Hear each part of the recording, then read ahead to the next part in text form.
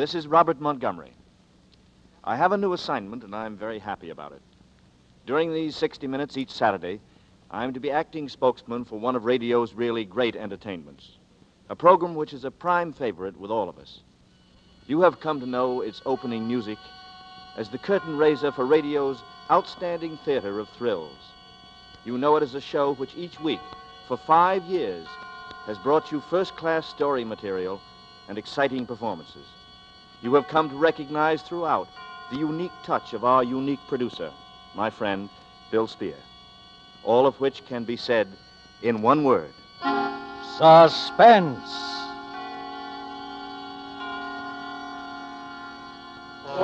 An hour of suspense now. A full 60 minutes on Saturday night. And with the distinguished actor director Robert Montgomery as your host.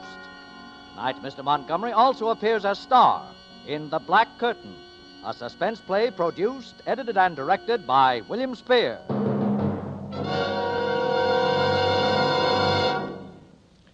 I don't have very much to say in the prologue department tonight.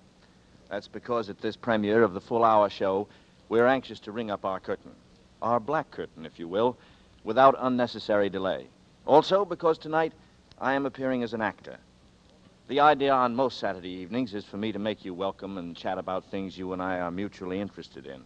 Crime, mostly, and the various types of criminal achievement, real and fictional, and the persons, actual and invented, who have committed those crimes and gotten themselves into those predicaments, and the people who have written about it and have compounded the particular brew of mystery and dangerous adventure which we serve up to you in the name of suspense.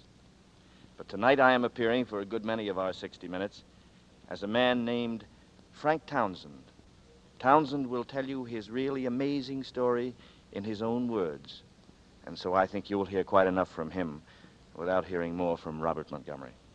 And so if our producer, Bill Spier, is ready, we will ring up our curtain.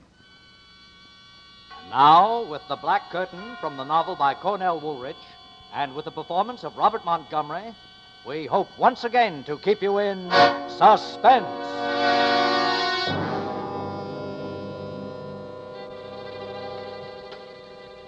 A man is born, he lives out his little life, and he dies. That's the one real break, I guess, that every man can count on. The one thing nobody can take away from him to be born just once, and to die just once. Every man, that is, except Frank Townsend. Born with no strikes on him, died with two strikes on him, and then was born again with three strikes on him. Pushed back into life that day on that street. All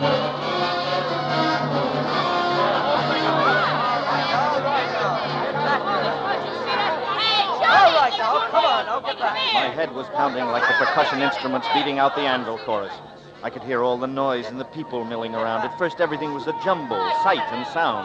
Tall buildings, high sky, low faces, spinning and weaving, and bells exploding. All right, all right, get moving now. Let the doc through. Oh, I seen it, officer. I seen it. He was running fast. The whammo clunk. He's growing like an onion with his head down and his All feet right, up. All right, all right. Break it up I'll break it up. Oh, my head. Take, take it easy now, brother. Just lie still. Who? Yeah, What are. see now. Two- I'm the doctor. Just lie still. I'll take hey, it easy. Cooper! Cooper, his wallet fell out of his pocket. A guy grabbed it All and he right, ran. all right, come on, get I back. can't I'll work give him a here little air. Get back. please? I'm okay, Doc. I just Sure, feel a little. Sure, here. Yeah. Now, let me help you up. See if you can stand. Thanks. Thanks. I guess I can talk to him now, eh, Doc? Uh, just a nasty bump on his head. He'll be okay. Huh. Now, here, let me brush your coat off, sir. Thanks, Doc. I. My coat. He looks. Why am I wearing Uh, an just over? for my report, mister, what's your name and address, huh? Uh, Townsend. Ah. Frank Townsend. Ah. 820 Rutherford Street. Uh, hey, uh, cigarette. You're still a little woozy, you know. No, thanks. I don't smoke. Well, look, uh, take a couple of aspirin All tonight. right, If you're sick all tomorrow, come call on, your Miss doctor. Hey, uh, here's your hat, mister. Thanks, kid. Yeah, we'll see what we can do about the guy that snatched your wallet. Here's your cigar case. Mike. Yes, but I haven't got a Well, good luck, mister. I'm going to turn in my report. cigar case. I don't smoke. Oh, it just fell out of your pocket when we lifted you. Yeah, but look at the initials on it. DN. Yeah, same initials like in your hat, see? DN. Yeah, but that isn't my hat. Oh, you got a nasty crack on the noggin, mister, and, well, Wait a minute, wait a minute. I'm trying to think. I. Where is this? Where is what? This. This street. This? This is Tillery Street. Tillery. What am I doing on Tillery Street? Hey, look, buddy, you sure you're okay? Well, what what happened to me? I Well, you were running. Uh, very dangerous running on this ice. Well, you slipped, hit your head, and was out for about 20 minutes. ice, After that blizzard we had last night, did you expect mayflowers? blizzard in July. I- July?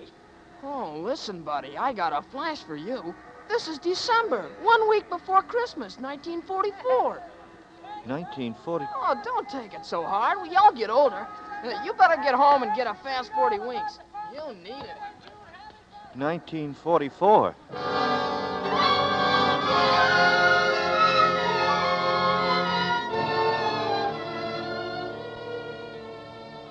December 1944.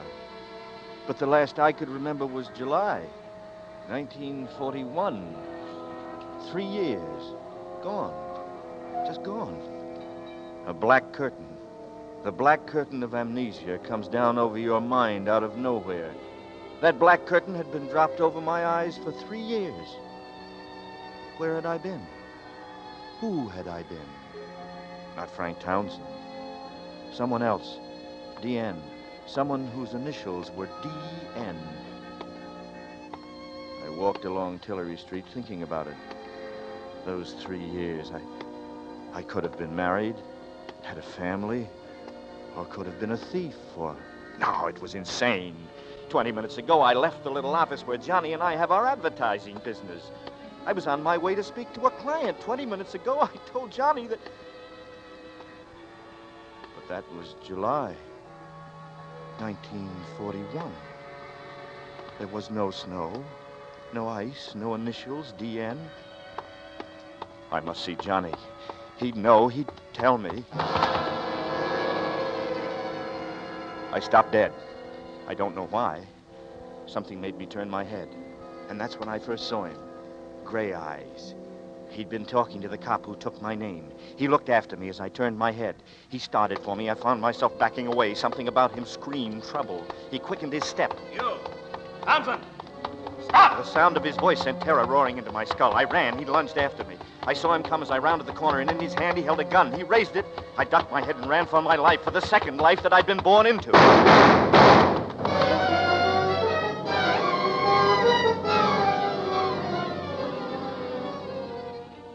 It was the ice that saved me. I flew across it, my toes barely touching its treacherous surface. But Gray Eyes slipped, spun through the air, gun flying from his fingers. By the time his heavy body had thudded to the ground, I'd hurled myself down the subway steps, walked, vaulted the turnstile, cheated the steel edge of the subway door as the train pulled out of the station. And for two hours, I rode the rails under the city. And for two hours, my stomach was gripped by terror.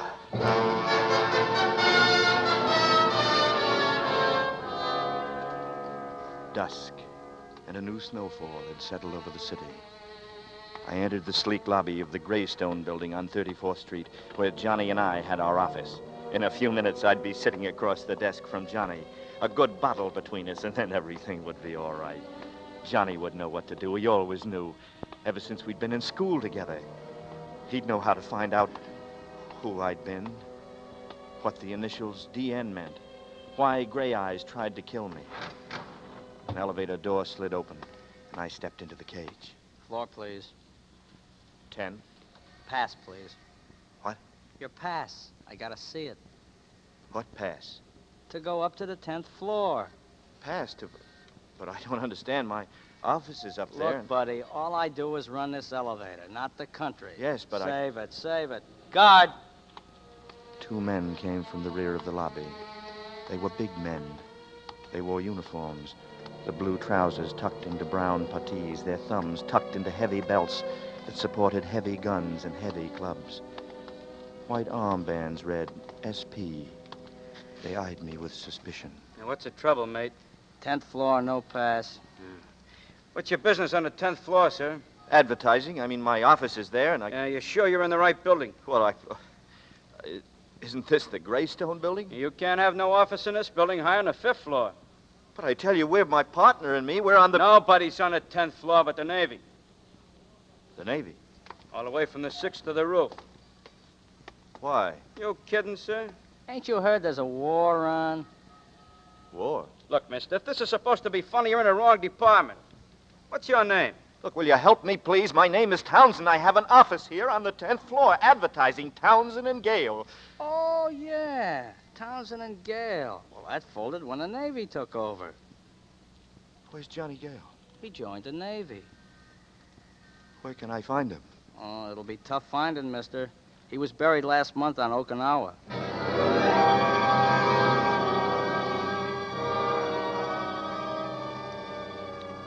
Johnny.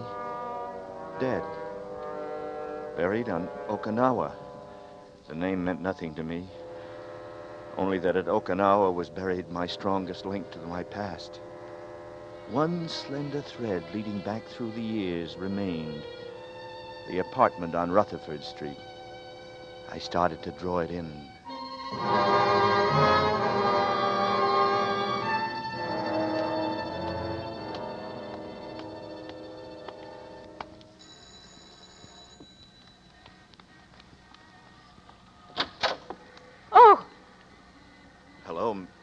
Mrs. Hudson.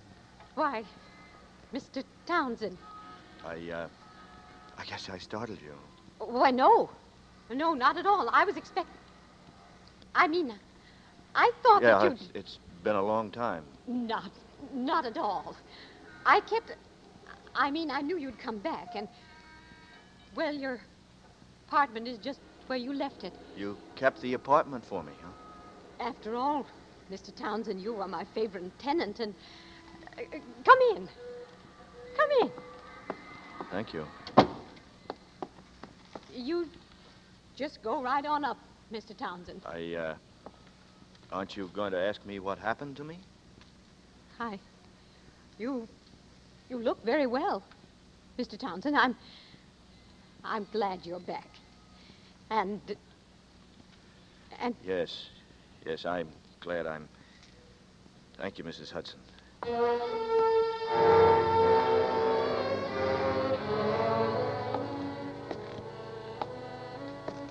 I started up the stairs.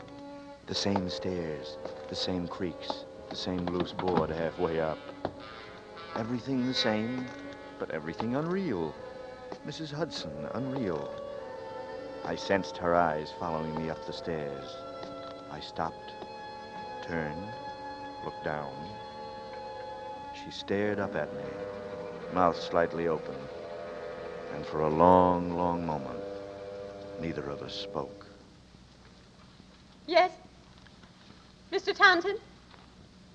Mrs. Hudson, uh,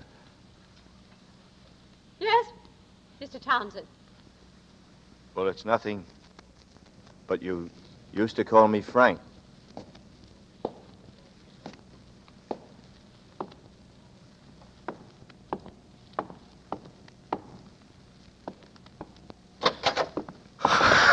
Come all the way in, son.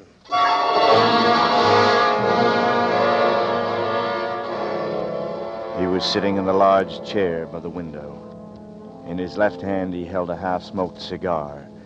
It was pointed at the ceiling. In his right hand, he held a gun. It was pointed at me. It was Gray Eyes. Tillery Street. Just couldn't stay away from there, could you? Well, never fails. What do you want? There's some mistake. I. Given that harness bull the phony name, but the right address. Very unbright. Listen, my name is Townsend, Frank Townsend. So, all right, so we'll bury you under that name. What difference does it make? Bury me? But why? Why? What have I done? Suppose you tell me. Maybe you can make it sound better. If I have to die, all right, I'll die, but I got a right to know why, haven't I? Tell me what I've done. What am I dying Stand for? still. Just give me one more excuse, son, and I'll kill you right here and right now. Yeah, that's better. Now just settle back and relax. Now sit down over there. Lean back against the chair. All the way. Now put your hands on your head. And son, just pray that you don't get an itchy nose, because if you even start to scratch it, it'll be the last itch you'll ever feel. Now, While we're waiting for the boys, we'll just sit and chat, nice and friendly like. Anything special you'd like to talk about? No? Okay, maybe I can suggest something. Maybe you'll find the loot an interesting topic of conversation. Sounds promising. The loot. What'd you do with it? I sat with my hands clasped to my head. I didn't dare move. He had the safety catch off, and I knew he'd send a bullet through my head without a second thought. That why you took the chance of going back to Tillery Street? Maybe the doll crossed you up, huh? Sure, you waited all week and she never showed. Maybe she'd Nothing, like it. he said, made any sense I to me. to you right here. All I knew was that he expected others Leaves to her in the arrive, and they would take me. with everything. Where? Gray eyes went on and on, his voice droning, until I no longer cared what happened to things. me or why. It's good for your nerves. I think I was beginning to nod. It's not only good When for from your the corner of my eye, good for your I saw the door open slightly. I didn't Yeah. stir. Gray eyes droned on. think you'll make it. A man was standing in the doorway behind him. A small man with small hands. And he held a small right. finger up to his lips. His small feet so made quick, noiseless steps. He stopped silently behind the chair in which. Gray Eyes was sitting. Then he raised You know, a small gun and his small time, fist.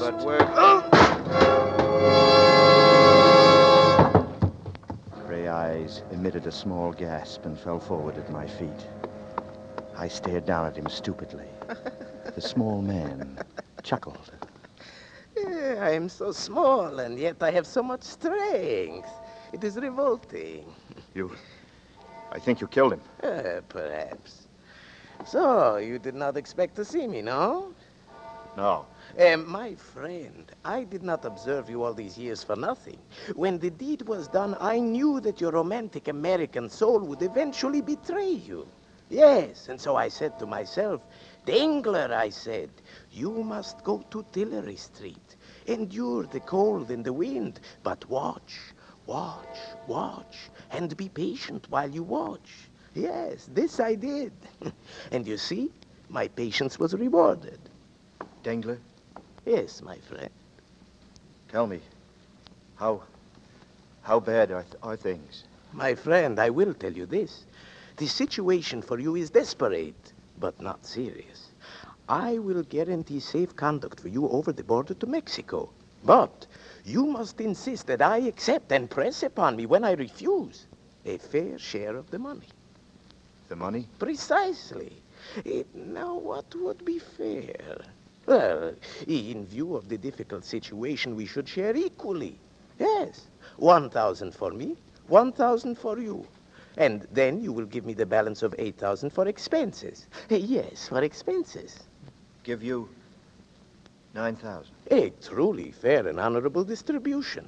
Especially, my friend, when you consider that the 9,000 you give me is an item which is completely deductible. Yes, deductible from your income tax. I see. And suppose I refuse your offer. How can you refuse? Didn't I save your life by assaulting this, this thug from behind? And didn't I have the good sense to snatch your wallet when you so stupidly fell in the street? Yes. See? Here it is. It was I who took it before the police could examine it. You have the. Let me see it. Yeah, you may have it. Here, wait. What? Where's. Where's my cards, my identification? Where's his identification, he asks. I told you you were stupid. Would I dare walk about with your identification cards upon my person? Idiot! Eh, I begin to feel it is not safe to deal with you. All right, all right.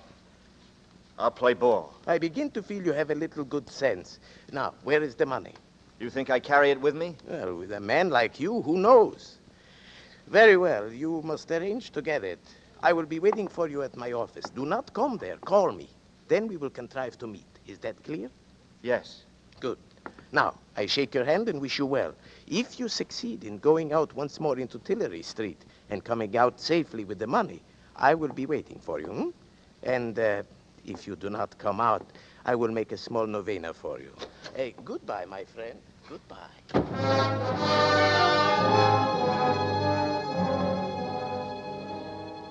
I shut off all process of thought and feeling. Reason was useless in an irrational world. Feeling dangerous in a dangerous one.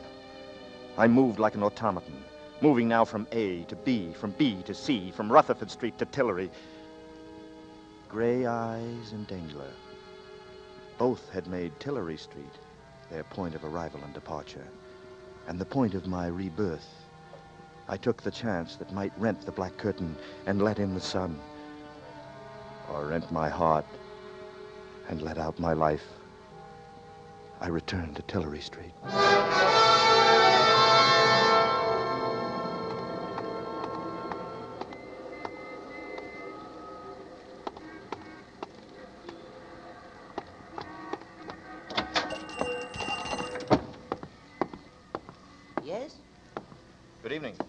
Can I do?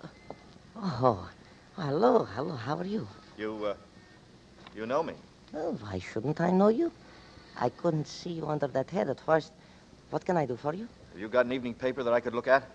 No, I'm sorry. I never read them. Too much trouble in the world these days, anyhow. How have you been? You haven't been around in two or three weeks. Yes, well, I've been busy. I. Look, Pop, I. I made a bet with a guy that even though you see so many customers, you'd walk right up and give me my full name. Oh, I'm sorry. I don't know it. I don't think I ever heard your name. Oh. But I know your girl. My girl. My girl. Oh, uh, you do? Well, Yes, now maybe I can still win my bet, huh? of course. Ruth. Ruth. She lives right across the street. The Tillery Apartments. Well, that's right. Ruth. Ah. But now, what apartment? Apartment 3C, of course. Don't I take the sandwiches up there every night? 3C. Yes. yes. Well, thanks. Uh, will you win your bet, mister? What? Oh, yes, I think I will. I, Uh, what's your name so I'll know it next time? I'll tell you tomorrow. So long. So long, Pop. I'll be seeing. What's the matter? You dropped something? Nothing. Nothing. I. Just tying my shoe. I'd just been going to walk out when I saw him standing across the street. A man built like Gray Eyes, dressed like him. And I knew he was looking for me. I ducked down behind the store window and watched him. He looked over in my direction and then up and down the street, lit a cigarette, and then strolled down to the corner. The minute he disappeared, I yanked the door open, dashed out, and ran across to the Tillery apartments and went in.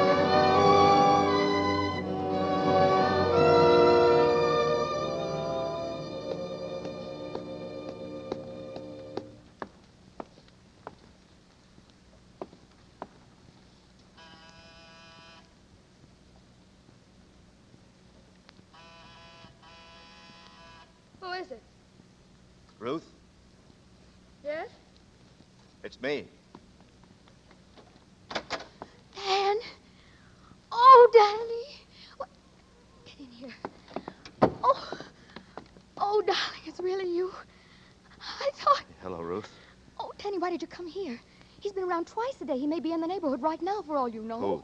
Who? Well, Slattery, of course. Has he got gray eyes? What? Yeah, did you ever see a detective that didn't? Sure, sure. I, but Danny, what's the matter with you? You're acting so strangely. I, uh, I just wanted to look at you. You seem so different, so far away. You haven't kissed me. Well, that, that's easily fixed. Oh, darling, where have you been? All around. Miss me? You know I did. Oh, Danny, do you suppose. Do you think we could get away tonight? I've got ten thousand, uh, some money saved up. We could go to Mexico or South America. We could get married.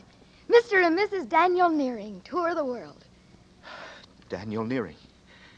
And wife. Sounds plenty good to me. You'll never know how good. We'll get out of here tonight. I'll call up and tell them I'm quitting my job. I'll say I'm sick. All my stuff's here. Nothing's out there but a couple of uniforms. I'll make Ada and Franklin a present of those. Ada and Franklin. Don't you bother your pretty head about those two. Maybe they weren't glad when it happened. A couple of vultures. Goodbye to them. Oh. Oh, with your back, Danny. Just think with the money I think- have, we can. do you think you ought to have quit your job? I never was cut out to be a nurse. No, ah, you weren't, were you? Any more than I was cut out. Any to- more than you were meant to be a secretary. That's right.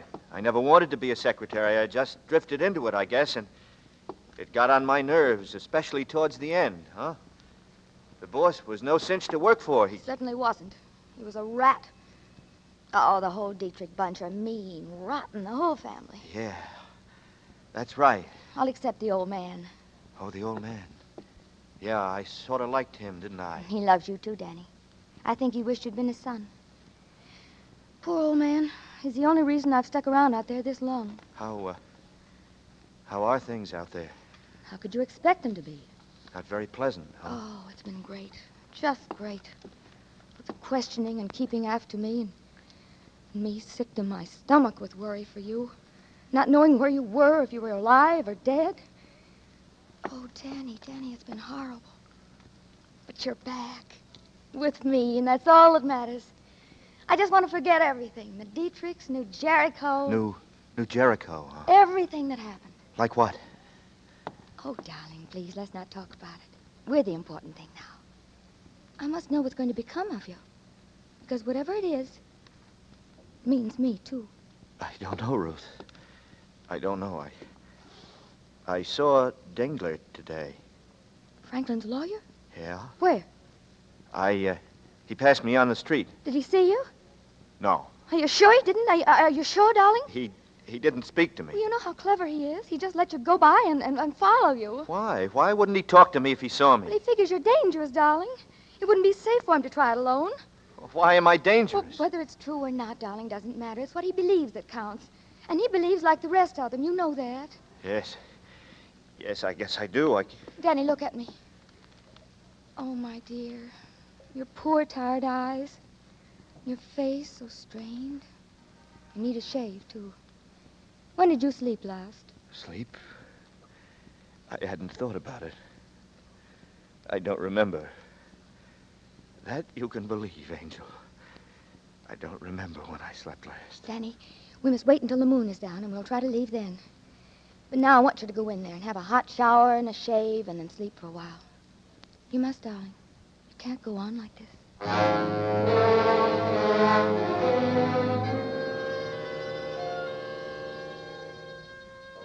I found my way to the bath without making a blunder, and the warm water felt good. I stood under the shower for a long, long time. It would have been pleasant to stand out the rest of my life just that way, under that soothing spray. In the medicine cabinet, I found a safety razor, shaving cream. I usually have trouble with a new razor. It takes me time to grow accustomed to it.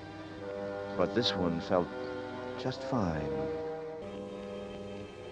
I slipped into my shirt and trousers and found my way to the bedroom. On a small tray near the bed, Ruth had placed a hot glass of milk and some toast. I was hungry. I ate. I slid between the sheets and they caressed my body with a gentleness that I hadn't known since childhood. Everything all right, darling? Right now, I... Here, let me tuck you in and open the window. The air's good for you.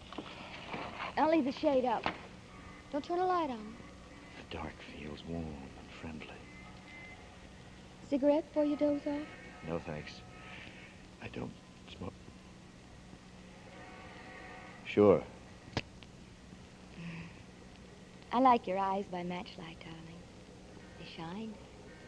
No, don't blow it out. Let me. I'll make a wish. There. What was your wish? To be with you forever. Just to be with you like this. Feeling your dear face, your chin, your jaw. Closing my eyes and still knowing you're here near me. This is all I want out of life. I wouldn't change places with any woman who knows and is sure she has her man forever. Who knows no one might come at any minute to take him from her. You're all I want, Danny. Forever. Now and forever. Because for us, darling, forever is now.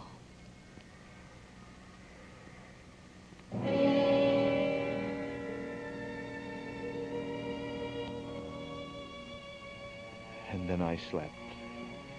And yet I didn't sleep. The dream held more reality than the bed I was in. The dream held no distortions, no goblin shapes, no complete persons at all. Nothing in it but a pair of feet and a patch of pavement just large enough to contain them. They kept moving forward toward me, towards my eyes, and the pavement kept slipping past beneath them like a treadmill going the other way. It was as though I were moving backwards away from the feet, and they kept moving toward me, coming toward me, toes pointed straight at me, remorseless and inevitable. That simple pair of black shod feet, never at a run, always at the same, even, implacable, persistent walk. The cushioned thud of their incessant fall on the pavement, the rhythm of the walk. Pat, pat, pat, pat, pat, pat. The echoing night sound when streets are still with someone coming towards you in the distance. It was as though the feet knew they needn't hurry, for nothing, no one could escape them. And then slowly they began to gain on me, closer and closer to my eyes. There was no escape. To turn aside and let them go by was impossible. The crevice between the soul and the pavement opening and closing like a hungry mouth, grazing, threatening to trap and crush and trample me. And that's when I gasped from air and jumped from the bed.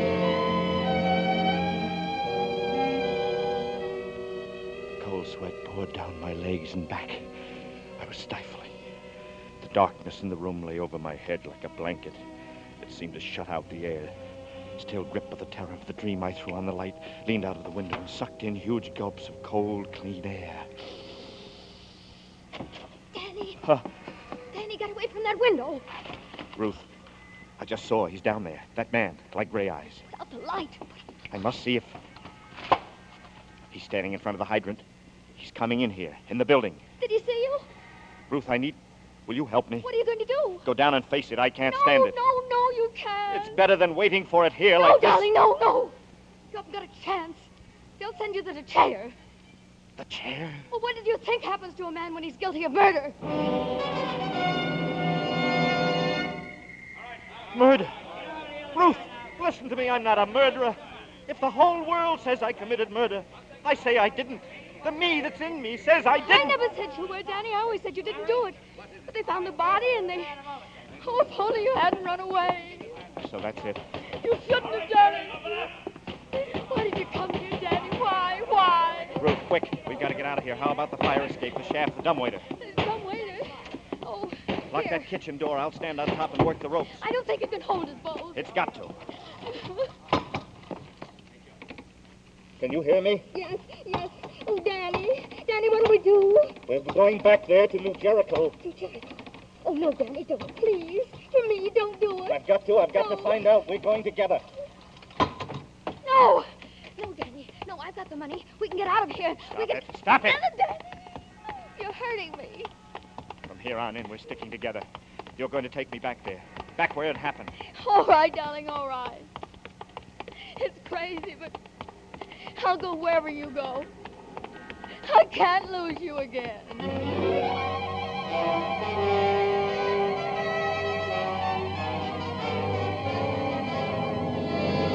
In tonight's full hour of suspense, Robert Montgomery, our star, appears as Frank Townsend, with Lurene Tuttle playing opposite him as Ruth Dillon, in William Spier's production of The Black Curtain by Cornell Woolrich. Tonight's study in suspense.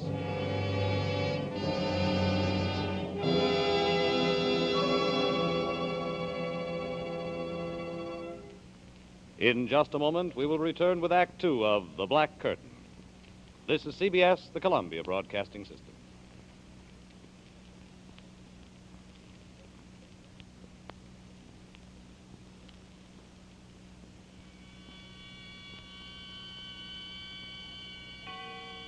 Now we bring back to our Hollywood soundstage Robert Montgomery as Frank Townsend, alias Danny Nearing, and Lurene Tuttle as Ruth Dillon in Act Two of The Black Curtain, a play well calculated to keep you in suspense.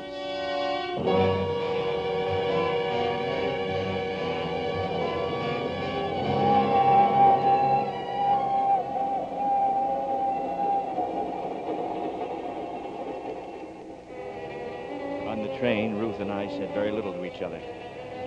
While I'd hid in the phone booth at the Penn station, she'd bought us a couple of cheap raincoats. And I sat hunched up in mine, thinking, yet not daring to think. Ruth had brought along the newspaper clippings. I read them for the 20th time. They all read alike. Dietrich Slayer sought. Secretary wanted in brutal slaying at suburban estate. Police are pressing the search for Daniel Nearing, secretary in the employ of the late John Dietrich, 58, member of a well-known local family who was shot and killed in the drawing room of his New Jericho estate on the morning of December 15th. The wall safe was robbed of $10,000. Nearing disappeared December 15th, on the morning of which date he is known to have had a bitter quarrel with the deceased.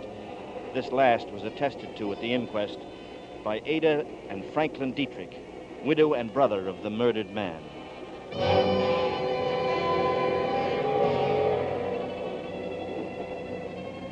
Had all the facts now. Wanted for murder. And yet everything that was in me told me that no matter who I had been, however many memories I had lost, that I was no killer, that I just couldn't have. New Jericho! New Jericho! I had to get into the Dietrich house and stand again in that room where it all had happened. Maybe something would come back to me. Maybe there would be. New Jericho!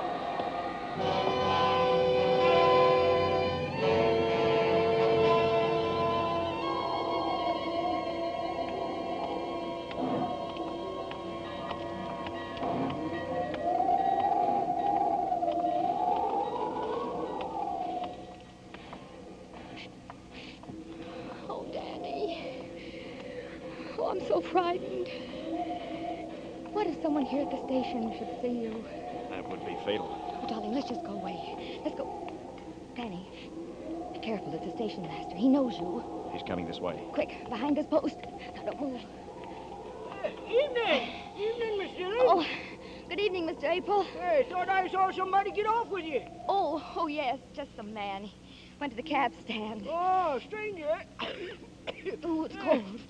Bad night. Trains lead all up and down the line. Well, this time of year, you know. Gotta expect it, as the fellow says. Uh, just going home, Miss Dillon? Pretty shivery. Give you a lift out to Dietrich house. No, no, thank you. Uh, they're sending the station wagon for me. Nasty night to wait. Oh, I don't mind. Really, I don't. Uh, uh, see where that Nearin fella, or Townsend, or whatever he calls himself now. Townsend? Uh, he was hiding out in the city on Rutherford Street under the name Townsend. City detective caught up with him, and this Nearin, he uh, fractured his skull. Oh. Yeah, bad actor, that fella. Always thought so. Well, detective's in the hospital. Don't expect him to live, says here in the paper. City police have orders to shoot to kill. Oh, Uh, no. Shoot to kill. Only thing to do with a mad dog, shoot to kill. Uh, hey there. You all right, Miss Dillon? Oh, yes, I, I, I'm just feeling. Uh, I'm all right. Well, uh, are you sure you don't want me to... No, no, I'm fine, Mr. April. I'm fine. You go ahead. I'll wait for the Dietrichs in the station. Well, shoot yourself, I always say. Uh, good night, Miss Dillon. Uh, uh, Merry Christmas. Uh, good night, Mr. April. All right, Danny. Listen, Ruth. What he said just now, I didn't attack that detective. It Doesn't matter, darling. It doesn't matter. It does matter. It matters more than anything else in the whole world because now I'm a mad killer and I didn't attack or kill anyone. Not anyone. It was Dengler. He hit that Oh, detective with. Danny, who would believe you? Franklin's lawyer, a man weighing less than, than... You've got to believe me. If you don't believe me about this, then you must believe that I killed Dietrich, too. All I know is that I love you. Quick. Oh, in the bushes.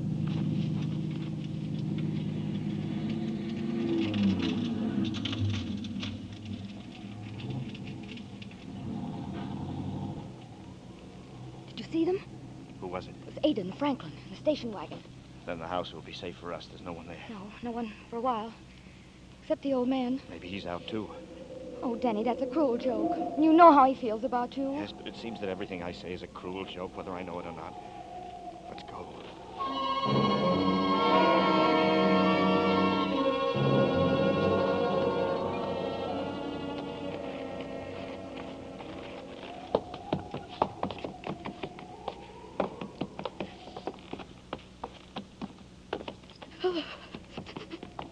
Door, Ruth. Hurry. I've got to see the inside. That room, the place where it happened. It's wrong, Danny. It's wrong. I'm telling you, you're crazy. They'll find you. Open the door, Ruth, quick. All right now. Let's have a look at the room. Please, Danny, please. Don't, don't, don't talk about it. So this is where I'm supposed to have murdered John Dietrich. Danny, please. Where was it? Show me exactly where it was, Ruth. I've got to know. It, it was there. Right there. He, he was standing by the grandfather's clock. Are you going crazy, Danny? If they get you, you'll hang. The clock. You still believe me, don't you, Ruth? I believe you, Danny, but I'm scared. And I love you. What's that? Listen. That's only the old man. He's asleep in that room off there. Don't go in there, Danny. Don't, please. You'll wake him. I want to see him. Don't, Danny. He can't help you. Turn on the light. I want to see him.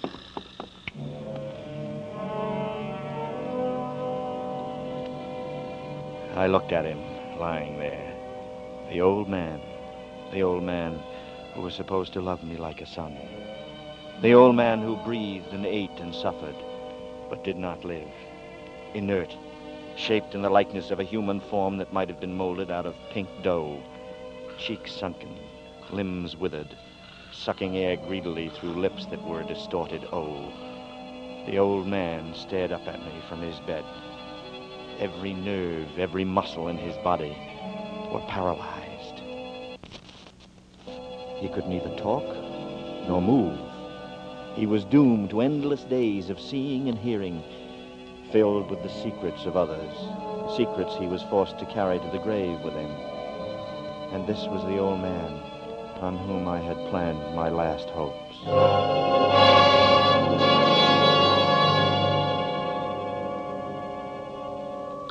Oh, oh, there, you woke him. It's me, Mr. Dietrich. Ruth. This is Danny. You remember Danny, don't you? Hello, Mr. Dietrich. See how his eyes are shining. Yeah. Was he here when it happened? You know that, Danny. Why do you ask such funny questions? He's been in bed here for five years. That mirror on the wall there, the clock. Look, you can see the grandfather's clock in the other room. What are you getting at, Danny? He could see it. The old man could see the murder through the mirror. If he could only talk. But he can't talk. You scare me, Danny. He saw the man who killed John Dietrich. Look, he understands what I'm saying. He's blinking his eyes.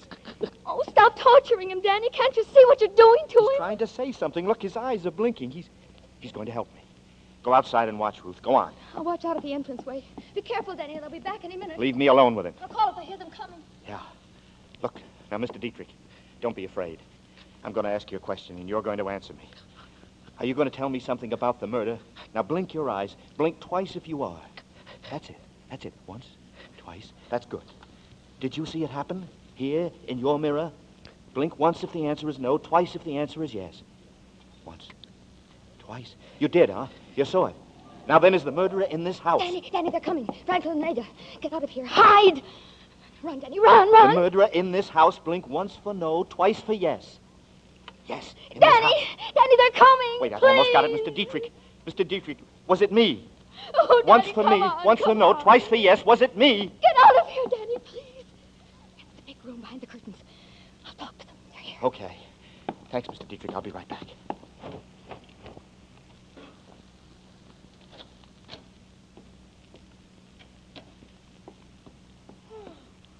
Oh, Ruth?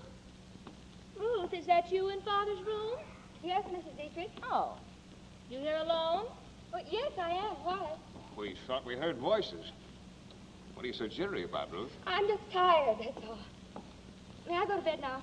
Oh, is Father still awake, Ruth? Well, he'll go to sleep all right. He's... I'm going upstairs, Mrs. Dietrich, now. All right, good night, Ruth. Good night. Good night. She's brought someone back here with her. It's him, I think. Who? Dan? Oh, Franklin. Take it easy. If he's here, we'll get him. After the evidence we gave against him at the hearing. Franklin, I'm scared. Let's get out of here fast. I'll, I'll go to the village with the police. Call the police. I'll do it. Yes. Hello. Hello. Too late. It's dead. The wire's cut. Come on, we'll both drive to the village. No, he, he may be waiting for us out by the car, Franklin. You. Huh? What? What do you think? Oh. Uh. Uh. wh- What are you doing there, Franklin? I, uh, I think I just might need my gun. Well, let's be on our way.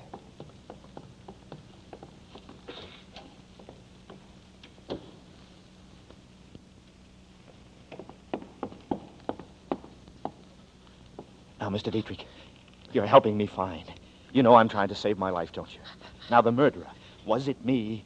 Was it me who did it? Me, Danny Nearing. Blink once for no. Once. Once. You're sure. You're sure it wasn't me. You're smiling, Mr. Dietrich. You're smiling. Now, was it somebody in this house? Then who was it?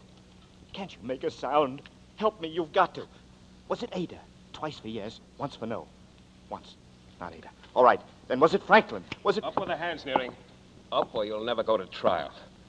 Franklin, you've got to listen. You've got Shut up and drop that flashlight. Trying to kill the old man, too, huh? The murderer returns to the scene of his crime. You know I didn't kill him.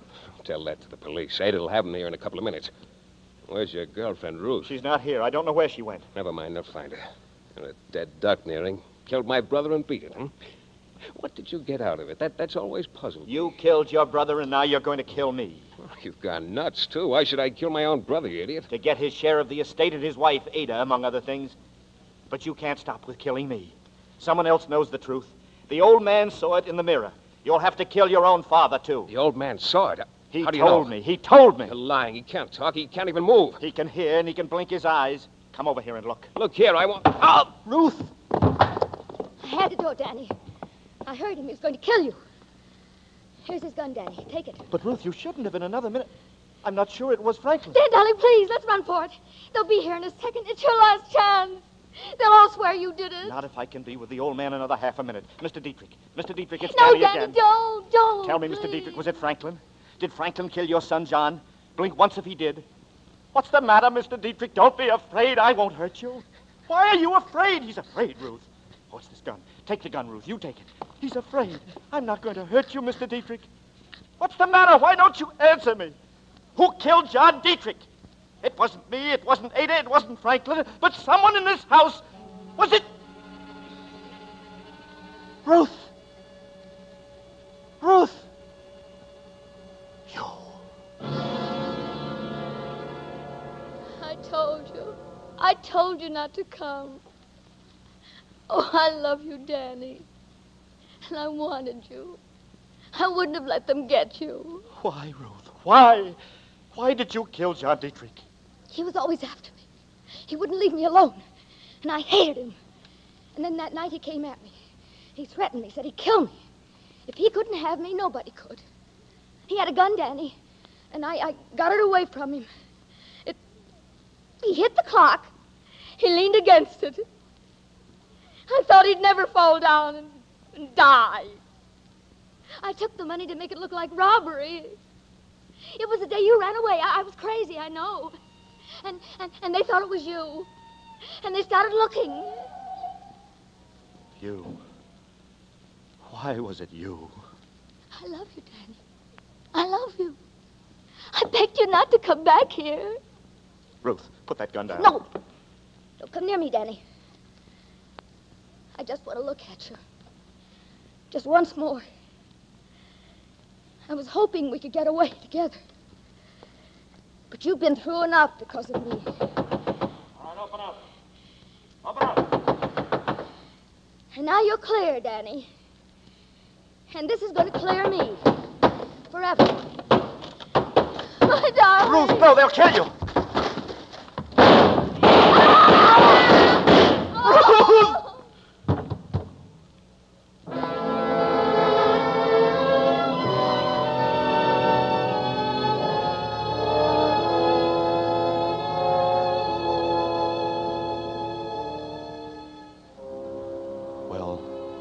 About all there is to tell, I guess.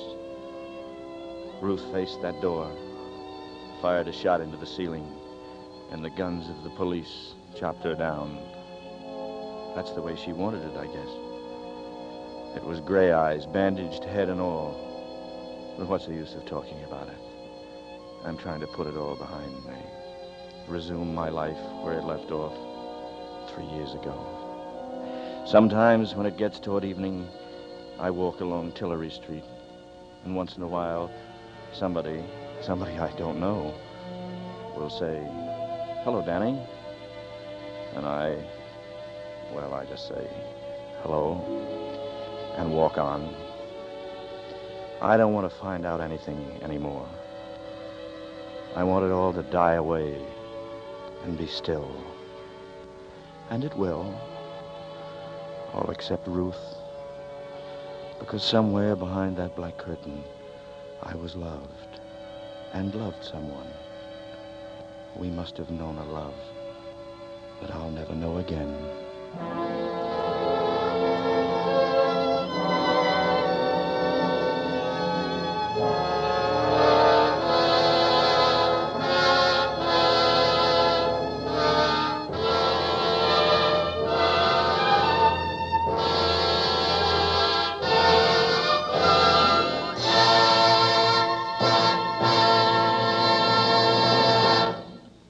So closes The Black Curtain, tonight's tale of suspense.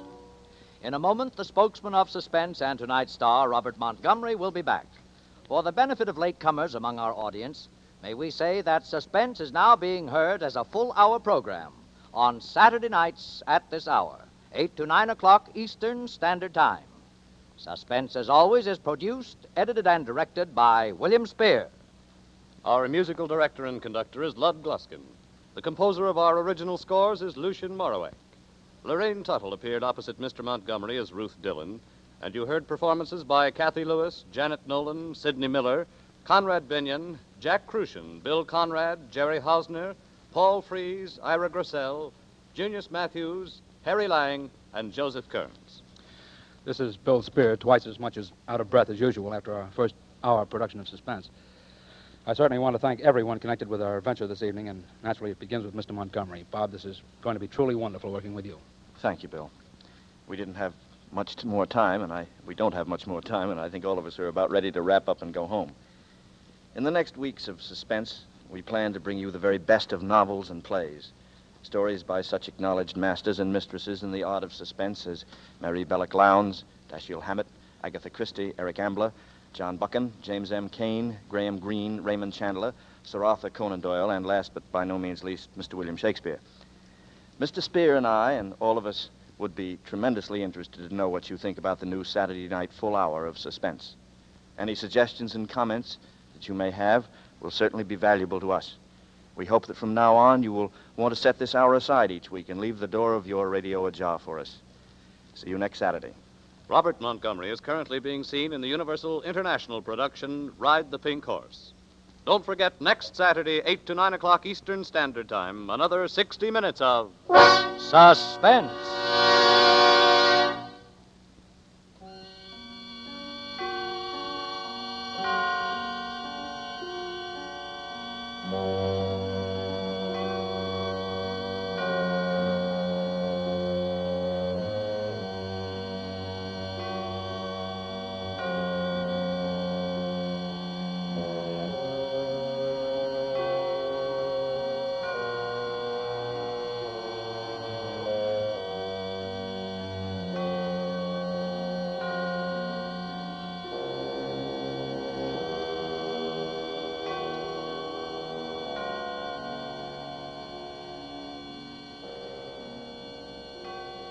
This is CBS, the Columbia Broadcasting System.